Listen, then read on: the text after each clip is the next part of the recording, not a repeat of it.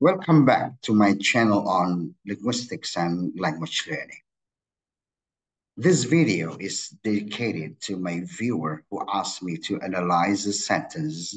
What he says is true. As you can see on the screen here, the sentence asked to be analyzed as what he says is true.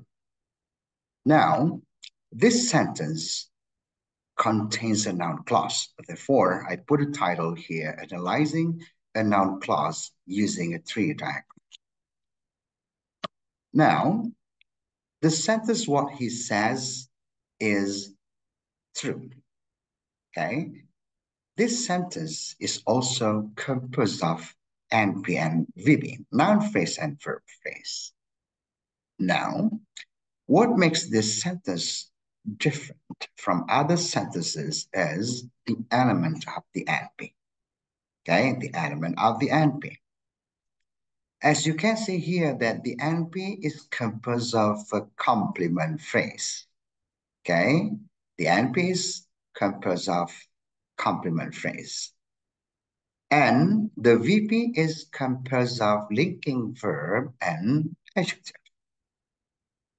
Now, complement phrase is composed of complementizer conjunction and sentence. Complementary conjunctions include all of the question words, okay? All of the question words, what, who, where, why, how, and so on.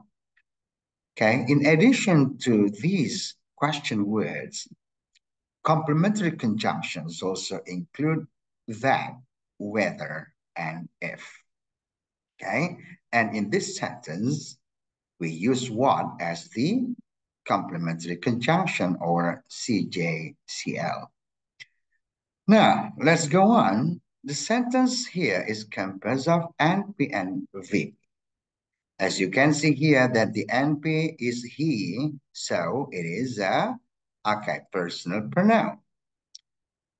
As we have only verb as the component of VP. So we have only one branch, that is verb.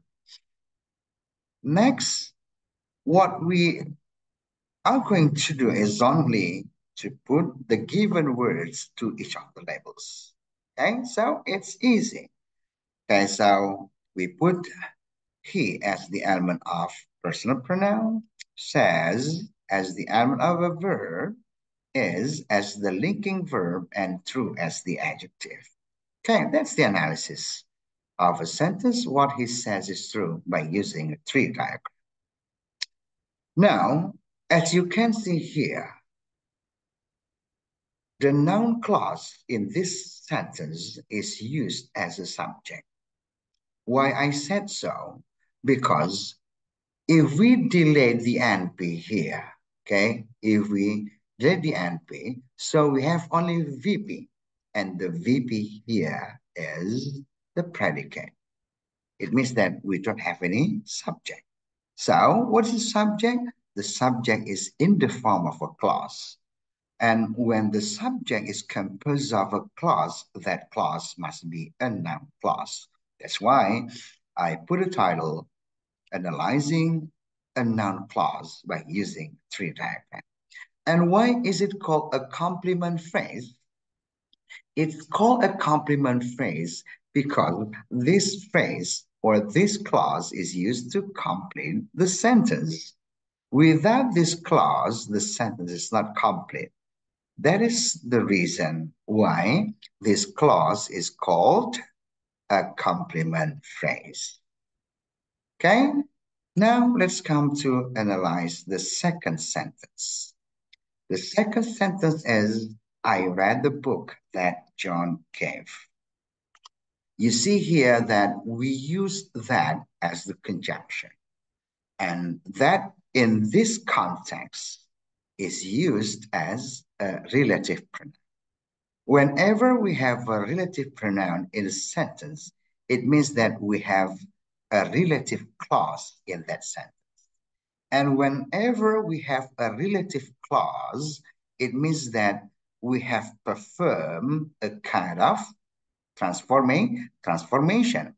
And this is what we call as a relative transformation, just like the my previous video, because it talked about the uh, relative clause transformation.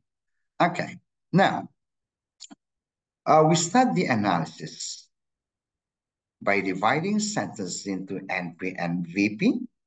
And the NP here is represented by a personal pronoun I, and then the verb here is read. And you see here that the NP is composed of determiner, noun, and RP. This is, you know, relative clause, okay, RP. And the RP here is composed of a sentence. And the sentence is composed of NP and VP. Okay? And the NP here is a noun, John. And the VP is composed of verb and NP. And here, the NP is composed of determiner and noun. The determiner is represented by article the, and noun is a book. You can see here that the sentence or the words here do not completely represent the sentence that we are going to analyze or that we are analyzing.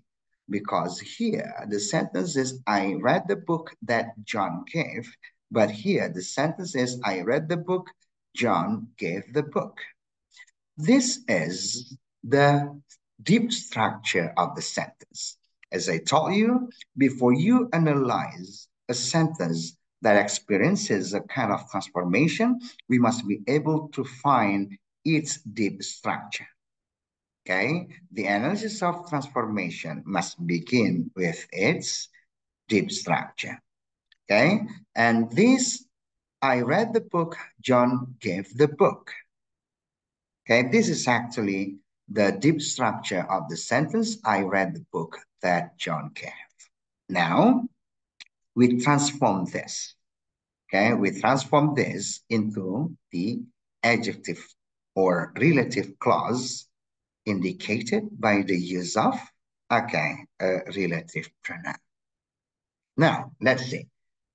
Okay, we still have NP and VP here as the constituents of the sentence and also personal pronoun and the VP is composed of V or verb and NP and then the NP is composed of determiner, noun, and RP. Okay, next, determiner is composed of article. And then, as usual, RP is composed of a sentence. Now, this is the relative clause transformation begins. Okay, now, the sentence is composed of NP, NP, and VP. As you can see here, in the deep structure, we only have NP and VP as the element of, okay, of the sentence. But here we have NP, NP, and VP. It means that we add one more NP before the VP. Now the question is, where does this where does this NP come from? This NP comes from the NP, which is the constituent of the VP in the deep structure. Okay, you know, we transform it, we change its position. Okay, so the NP here, okay, in the deep structure, it is uh, composed of determiner or article the and book. And here we don't have this determiner and noun anymore because we have replaced it by using a, relative pronoun, okay, or pro-R by using a relative pronoun. Okay, and the rest will be similar. We have here NP as a noun, okay, uh, we have NP as a noun, just like this one, NP is a noun. And then we have here VP. And of course, you know, we only have verb here. Why? Because the, the NP has been moved. So we don't have NP anymore here as the element or constituent of the VP. This is the place where the transformation is taking place in the sentence. Now, um, we have labeled all the elements of the sentence. Um, finally, okay, we just write the given words for each of the labels. Okay, so I as the personal pronoun, read as the verb, the as the article, book as the noun, that as the relative pronoun. Okay, this is our focus. And then John as the noun and gave as the verb. Okay, that's how we analyze the sentence. I read the book that John gave by using a tree diagram. Once again, remember, when you analyze a sentence that contains an adjective clause, your analysis must show the transformation. And the transformation is indicated by two kinds of diagram. The first diagram indicates the surface, uh, sorry, the deep structure of the sentence. And the second diagram indicates or represents the uh, surface structure of the sentence. I hope you can understand this and see you in the next video.